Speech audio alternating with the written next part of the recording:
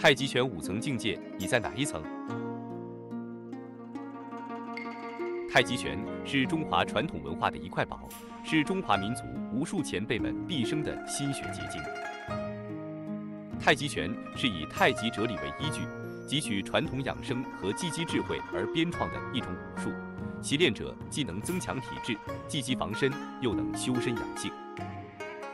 据不完全统计，全球一百五十多个国家和地区练习太极拳者已达数亿人。太极拳早期曾称为长拳、绵拳、十三式、软拳、化拳。清朝乾隆年间，山西人王宗岳著《太极拳论》，才确定了太极拳的名称。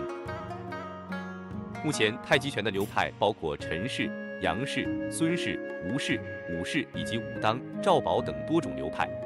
各派既有传承关系，相互借鉴，也各有自己的特点，呈百花齐放之态。二零二零年十二月，太极拳项目被列入联合国教科文组织人类非物质文化遗产代表作名录。河北永年人杨露禅从学于陈家沟陈长兴，并与其子杨建侯、其孙子杨成甫等人在陈氏太极拳的基础上，创编发展了杨氏太极拳。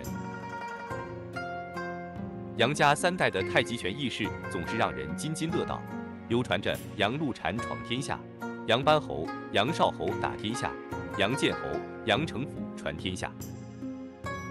近代太极拳会流传甚广，发扬光大，发展成为一门习练者已达数亿人，传遍全球一百五十多个国家的拳术，主要归功于杨家三代的推广和还有一位完善太极拳理论的太极拳宗师吴宇香。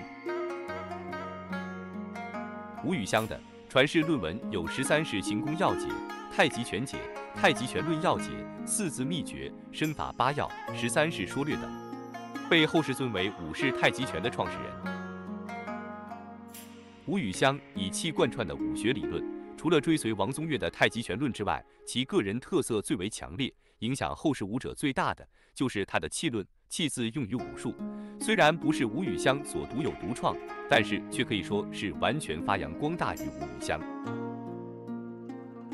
太极拳第一层境界，入门级。刚加入某门某派太极拳，学习基本功法，学习太极拳套路，学习太极拳理论。刚接触太极拳的历史，学拳多年无法练完套路。无法掌握基本功法，或者是在练太极操或者跳太极舞者，都是属于这第一层。太极拳第二层境界，助教级，基本上已经掌握了某门某派的基本功法、太极拳套路、太极拳基本理论，开始在学习太极推手了，已经开始在帮忙太极拳老师指导新学员。太极拳第三层境界，高手级、老师级。太极拳套路基本上都练得圆润流畅，势如行云流水，刚柔相济。在一些太极拳套路比赛都可以获得一些奖项。掌握了一些基本的太极拳经、太极拳论的知识原理，如何分阴阳、虚实转换、八门五步、接力使力。经过一段时间的正确太极拳基本功法的训练后，身体的架构改变了，松开肩和松开胯了，获得了松沉劲跟进，已经能得中、守中、用中，懂得一些太极拳推手和发劲的功夫，普通人跟他推手都推不倒他了。太极拳第四层境界，大师级，完全掌握太极拳经、拳论的知识原理。太极拳套路已经练到有自己的独特风格，已经开始能以心行气，勿令沉着，乃能收敛入骨，能如太极拳行功心结所描述的方式来练太极拳。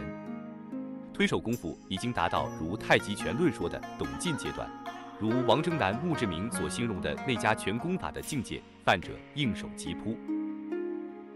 推手散手功夫，与人接手时，已经完全能做到如太极拳打手歌里所描述的境界。彭吕几按须认真，上下相随人难进。任他巨力来打我，牵动四两拨千斤。引进落空和急出，粘连年随不丢顶。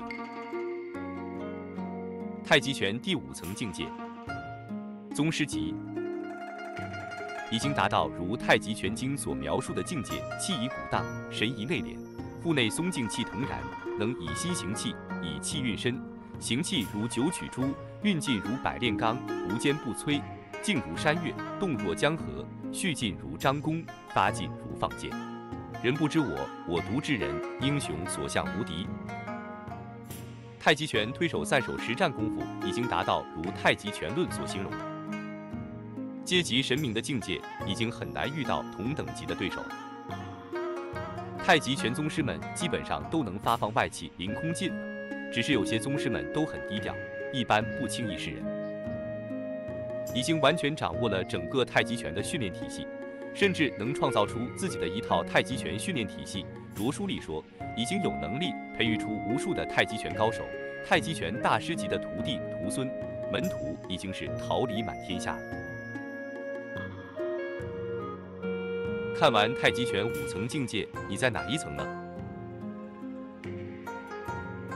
感谢你的观赏。